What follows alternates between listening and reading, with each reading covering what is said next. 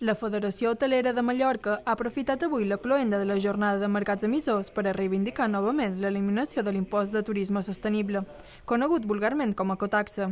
I ho han fet en presència de la directora general de Turisme, Pilar Carbonell, la qual també ha aprofitat per reiterar la postura de l'executiu autonòmic en aquest aspecte.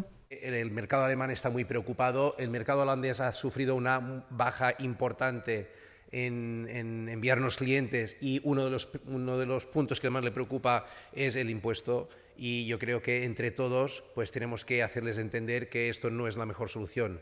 Yo ya me ofrecí a, la Consellería de Hacienda en irnos juntos de la mano a Madrid y a pedir dinero, pero que no lo quitemos a los, a los clientes.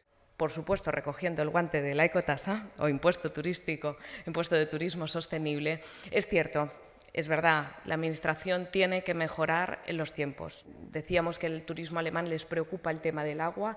15 millones del impuesto turístico van a ir dedicados a la mejora de la red del agua, al mantenimiento de las depuradoras, etcétera, etcétera. ¿no? Entonces es un mensaje que dices, vamos a garantizarlo. E, es para la mejora de todos los que ya nos visitan o los que nos quieran visitar. Nuestra competencia son todos, debemos estar eh, muy al loro, muy alerta de, de no perder turistas, sino todo lo contrario. ¿eh? Estamos abiertos y para que vengan a visitarnos cuantos más mejor.